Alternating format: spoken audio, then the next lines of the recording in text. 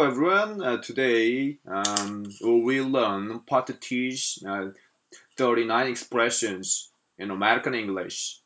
Uh, so uh, I'm gonna give you an, uh, ex- uh, some explanation about them. Okay, part T number one. Take a guess.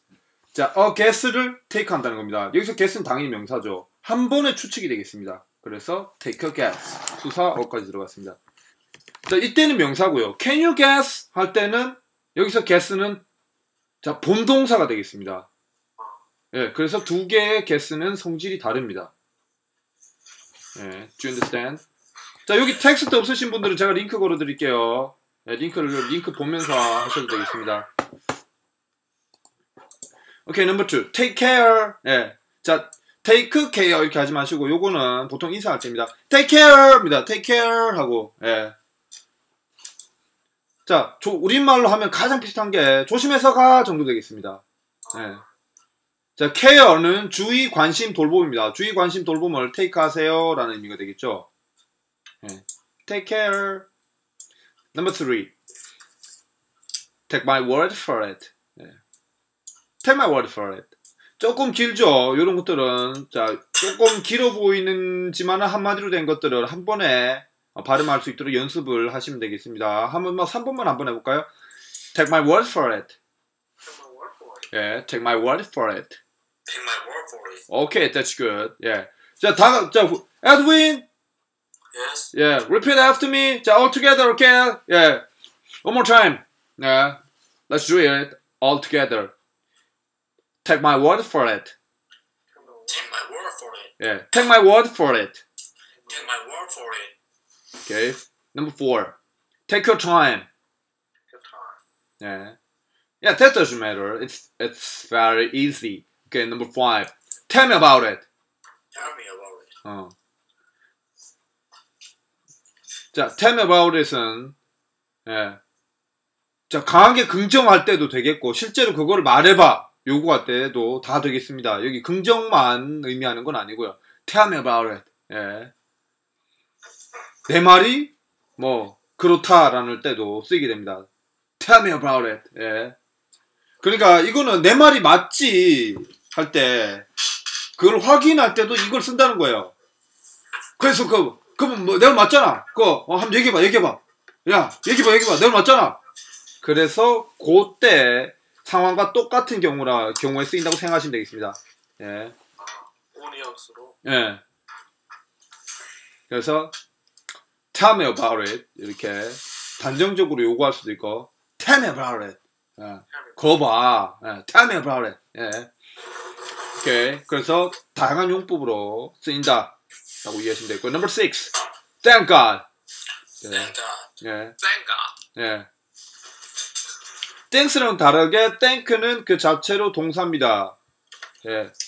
God를 상대로 감사 표시한다라는 의미가 되겠습니다. 그래서 목적어가 바로 들어옵니다.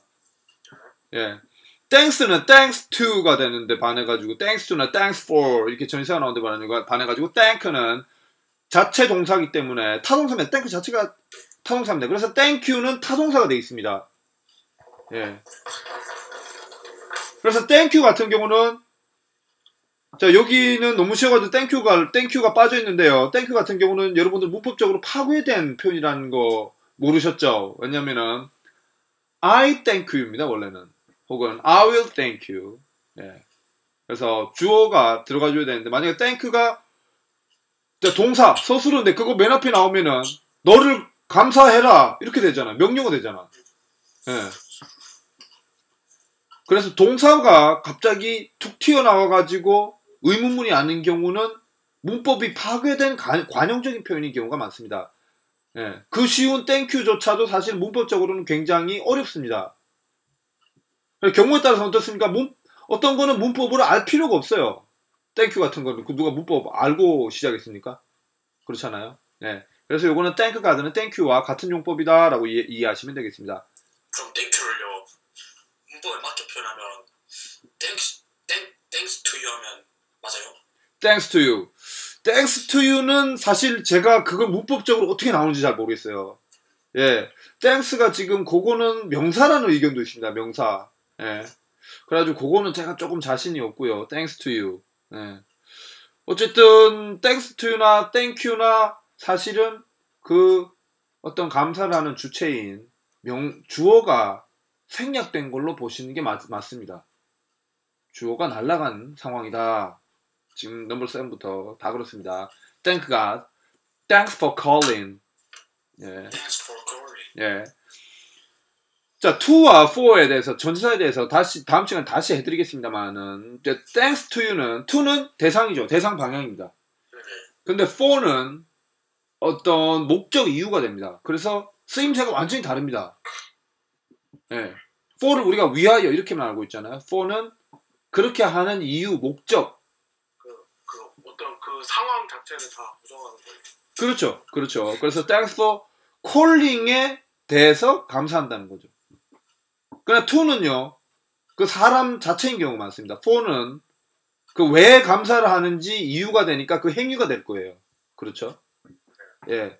그래서 to나 for 전치사 같은 것들 뭐 우리말로 그냥 에, 에게 위하여 이렇게 해석하고 넘어가면은 상관없었던 초중고 영어로는 실전 영어를 제대로 익힐 수가 없습니다. to나 for, 뭐 in, 뭐 with 같은 것들에 대해서 명확하게 의미를 알고 있지 않으면은 회화에서 구사를 할 수가 없습니다. 라이팅 자체가 불가능해집니다.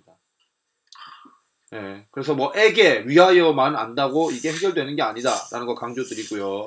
자세한 전치사 정리는 어, 다음 주 정도 제가 다시 해드리겠습니다. 예, 계속 갈게요. Number 8. Thanks for everything. 예, Thanks for everything. 예, Thanks for everything. Thanks for everything. 예, every 되겠습니다. every. 예. ever를 v를 심하게 해주시면 안 돼요. ever가 받침 정도되고요. 바로 re로 넘어갑니다. 넘어갑니다. 예, everything. 예, Thanks for everything. 예. Thanks for everything. Thanks for Yeah. everything. 그래서 우리 저기 그 어디요? 어제 저기 디스코 가면은 디스코 디스코입니까? 저기 아줌마들 저기 그 댄스 디스코 추는 거 예, 가면은 그 뭐야 저기 그 아니잖아 저기 에어로빅 에어로빅 에어로빅 말이 생각이 안 났어. 예. 에어로빅 같은 데 보면은 예. everybody everybody everybody everybody 하잖아요. 예. 자, 음절 보세요. 한국어 볼게요. everybody. 오음절이죠. 근데 영어는요. everybody입니다. everybody, everybody. 그래서 3음절이 됩니다. everybody 됩니다. 예. 그래서 every, every에서 이음절로 가주셔야만 제대로 된 영어가 되겠습니다. 이해되셨습니까? everybody, everybody. 다음 게 볼까요? 자, 저, 제 시간은, 저, 스피킹 시간은 만큼은 여러분들이 노래방에 와서 그냥 막 생각 없이 소리 지른다 생각하시고 마음껏, 예, 그냥 떠들고 어, 힐링하는 시간이 됐으면 좋겠어요. 영어가 스트레스가 아니라 스트레스 푸는 시간이 됐으면 좋겠습니다. 예. 자, 다음 게 볼까요? 자, 오케이. 다음 게 everybody, Everybody. everybody, Everybody. everybody, everybody, everybody, Everybody. Everybody. Yeah. Everybody. everybody. Everybody. Everybody. Everybody. 네, 그래가지고 예, 정리를 해드리면은 예, 앱 해가지고 B가 굉장히 약화되죠. 그래가지고 에, 에 어떻게 심하면 에밖에 안 들립니다. 근데 살짝 받침이 있다고 보시면 됩니다. 앱, every, every. 네, 그래가지고 요 정도 되겠네요. 요 정도. 비읍은 물론 잘못된 겁니다만 every, every, every, every, every 이음절로 끝낸다는 거죠. 네, Everybody. 네. That's for everything. Everything. for everything. 예, 요거는 댄스 같은 경우는 상대를 넣으면은 thank you for로 갈 수 있습니다. Thank you for everything. Thank you for everything. Thank you for everything. Okay, number nine. Thank you everything. 예. That's for the compliment. Thanks for thanks for the compliment. 예, that's for the compliment. Thanks for the compliment. 예. The compliment 칭찬이 되겠습니다. The compliment 더 붙여준 이유는 이미 행해진 한 번의 어떤 칭찬이었습니다. 그 어떤 이제 한 번에 이루어진 칭찬이기 때문에 추상이 아닌 존재했던 물질처럼 다루었습니다. 예. 자, 다시 한번 설명드리겠습니다만은 나중에 더가 들어가 더는요 물질 비물질 다 쓸 수 있습니다. 그건 문법 시간에 해드릴게요. Number 10. thanks for the ride. Thanks for the ride. 예. 태워줌이 되겠죠. 태워줌에 대해서 고마워. 고마워한다. ride는 여기서 명사가 되겠습니다. 그래서 명사, 동사, 기본형 다 되는 단어가 되겠죠. 예. Thanks for the ride. Thanks for the ride. 예. Thanks, but not thanks. Thanks, but no thanks. 예. 자, thanks가 두 번 들어갈 수 있다는 거죠. 예. 예. Thanks, but not thanks. 예. That figures. 예. That figures. That figures. 자, figure는 굉장히 설명이 많이 필요한 어, 굉장히 철학적인 단어입니다. 자, figure에 대해서 어, 우리 한번 해봅시다. figure. 후석. 자, 여기 figure 뭐니 figure? 일단 여기서 뜻은 뭘까? That figures. 형상, 모형. 자, 여기서는 동사로 쓰였는데 어,